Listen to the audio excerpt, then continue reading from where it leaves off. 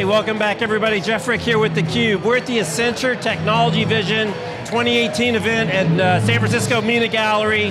Really loud, they got autonomous jazz players in the back. But we're excited to be here with Paul Daugherty. he's the Chief Technology and Innovation Officer for Accenture, and he's running this whole thing. Paul, great to see you again. Yeah, great, uh, great to be here, and great to have you here at this event. This is a big event for us to talk about what we see happening with technology and where it's all going and what it means for individuals and businesses, so it's going to be a fun night. So, you did the survey last year, we were here, really cool event, you did it again in 2018. What are some of the highlights? What are some of the things that jumped out to you a year later? Yeah, you know, I think the, uh, the highlight and the real core of the, the vision theme that we have this year is, is around the what we call the intelligent enterprise unleashed. You know, intelligent enterprise unleashed. And what we're talking about is really a fundamental different role that companies need to play as they're thinking about the next evolution of the products and services they're offering to their customers. And one thing we talk about is the fact that technology isn't just a peripheral or something people use. Technology is core to the human experience and right. how you and I work and how we live our lives and how every person does. And what that means is that companies have to think differently about the way they engage with customers, the way they build their technology, because the trust you build with the consumers and uh, workers and others using technology is fundamental to getting the right to deliver these profound intrinsic services that, yeah, that uh, people are demanding and that companies are providing. So it's a really pivot point, I think, in terms of thinking about how companies provide technology. It's really kind of interesting, this bifurcation, because on one hand, you want software-defined data automation as much as you can. On the other hand, people have an opportunity now through social media and all these channels to have a direct engagement with company that they never had before. Combine that with the fact that most of your interaction, most of the time, is through some type of technology interface, whether it's a mobile app or a chatbot or whatever. So it's kind of an interesting polarization of the way people engage with companies. Yeah, no, it really is. And if you think about it, uh, you know, you look at it right now, and um, the average kid spends about eight and a half hours in front of a screen. You know, they're immersed and engaged, whether it's their phone or their TV, they're immersed with the screen. You and I, you know, the, uh, you look at the average population, uh, would say that we touch our phones 2,000 or 2,600 times a day. 2,600? 2,600. Oh, and the, scary. the phones become part of our, our lives. The right. first thing people check when they wake up in the morning, uh, probably, for, yes. for most people. And uh, what that, and that's, that's only with a device that's been around for 10 years. Think about what's going to happen as we have ubiquitous voice communication, natural language understanding, extended reality interfaces to connect people uh, you know, in more uh, rich interfaces, and that's this next generation of experience that we're moving toward. Yeah, it's interesting, you, you said extended reality, which is yeah. one of your five kind of topics for later this evening. Right. It's funny because everyone's talking about augmented reality, mixed reality, artificial reality, right. and you've really kind of rolled it up into one, that it's, it's a new way to blend data and intelligence, you talk about space, with the reality that we're in right now. Yeah, exactly. We, we came up with the term extended reality because we believe it's about extending the experience of the individual and you know, providing access to virtual reality, mixed reality, augmented reality, gesture-based interface, interface, other types of technologies.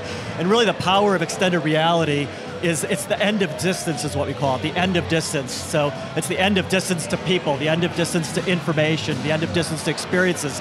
You can access what you want and the experience you want when you want to use it.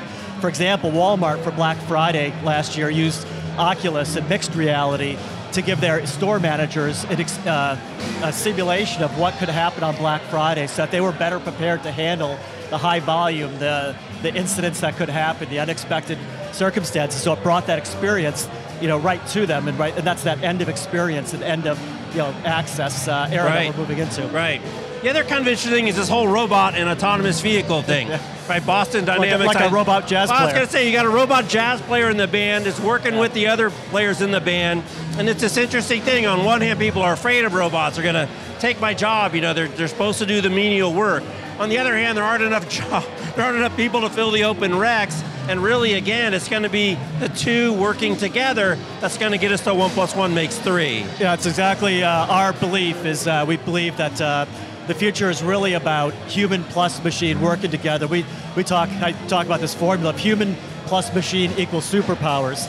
It provides people with superpowers that, so they can do different jobs and do jobs more effectively. And to your point, we don't, we don't, we don't have a jobs issue right now. We have roughly as many open jobs in the US as we have unemployed. The issue is matching the people with the right skills to fill those jobs. Right. And one thing we haven't talked about enough is the power to use technology to amplify people's uh, capabilities so that they can fill more of those jobs. We, we talk about in the vision and in the new book we're working on is the, the real power to provide people with those capabilities. Right.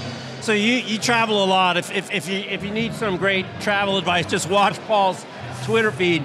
And I want to talk to you. You're at Davos in the World Economic Forum, right? Right, and there's again everything's kind of bifurcated. There's you know kind of doom and gloom about fake news and tech taking over and automated fake news and what's going to happen in the job thing.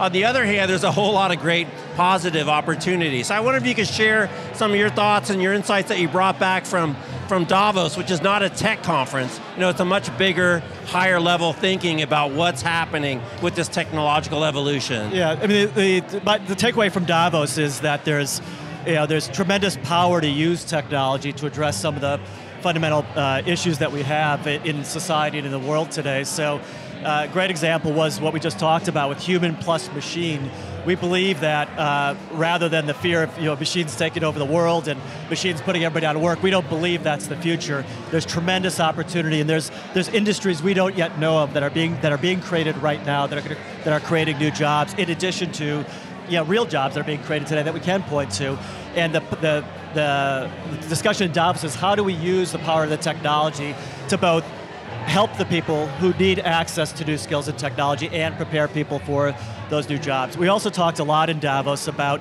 how to use technology to solve some of the big problems we have in the world today. One of the really exciting discussions we had was on this idea of innovation with purpose. Not just innovation, but innovating to solve a problem with purpose. And a great example of that was an announcement that Accenture made with Microsoft along with an organization called ID 2020 to use blockchain technology powered by the cloud with artificial intelligence to provide identity and credentials to a billion people in the world that lack identity today.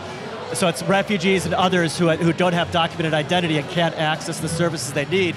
And that's an example of a you know, multi-stakeholder community coming together in Davos, governments, tech companies, and NGOs working together to solve a, a real problem using innovative technology. That's what we call innovation with purpose. Yeah, there's still so much opportunity. There's still so many fundamental problems. And the funny the job thing, I saw some tweet the other day. I said, go back to 1860. How many jobs do you think you're qualified to do back then? so the jobs change, right? The market changes. Yeah, and the, the issue that we, the real issue we do have to deal with, because I don't want to sound like Pollyanna in this, is that there, uh, there are real issues we need to deal with in terms of uh, jobs that will be eliminated more quickly than in previous technology revolutions because the pace of this is so fast. Right. And uh, it, but it really comes down to us getting a grip around how do we prepare people with the right skills. And that's why one of the things we're very focused on in our tech vision and in the other work we're doing at Accenture is the idea of how do you prepare the future workforce. And we just put out a report on this recently as well. And one of the things we found is that over half of executives believe that they, a lot of their, their employees lack the skills they need for that era of AI that's coming, over half of executives.